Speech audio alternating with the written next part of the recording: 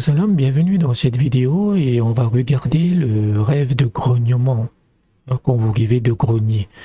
Euh, sachez aussi que je m'excuse un peu, il n'y a pas eu de vidéo ces derniers jours, il y a eu des soucis personnels, financiers comme d'habitude. Donc, mais, donc avant ça, sachez que je propose des interprétations euh, personnalisées et confidentielles. Euh, ça commence à partir de 5 euros par mois sur Patreon ou Buy Me Coffee.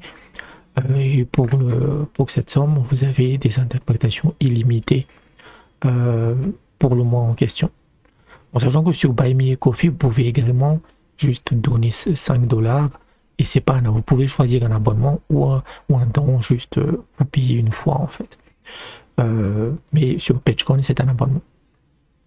Si vous n'avez pas envie de vous abonner ou autre, vous pouvez aussi faire un don unique de 20 euros via Xoom qui, utilise PayPal ou Western Union euh, qui couvre trois mois d'interprétation. Euh, voilà, donc comme ça vous êtes tranquille. Vous pouvez me contacter sur WhatsApp avec le numéro qui s'affiche à l'écran et la première interprétation euh, est gratuite. Tous les liens et les descriptions sont dans la description. Donc le rêve de grognement. Le grognement, vous avez deux significations principales. La première, c'est un travail qui est dur. Cela signifie que vous travaillez très très dur en fait et cela euh, illustre vos efforts. Si par exemple une femme, euh, une femme enceinte grogne, ça signifie que son accouchement sera difficile. Donc c'est toujours lié à un travail qu'on fait, c'est de l'effort en fait. Si vous grognez en comptant des pièces de monnaie, vous comptez des pièces de monnaie et vous, il y a des grognements qui sortent, ça signifie que vous travaillez très dur, mais que vous n'êtes pas bien payé. Et que ça vaut pas forcément le coup. Peut-être, c'est peut-être un rêve qui avertit que il est temps de regarder euh, dans une autre direction.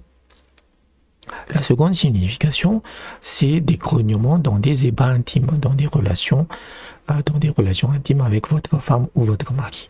Et donc, si la relation euh, est licite il n'y a pas de souci. Euh, ça signifie simplement que c'est une bonne vie de couple, c'est que vous êtes heureux en couple.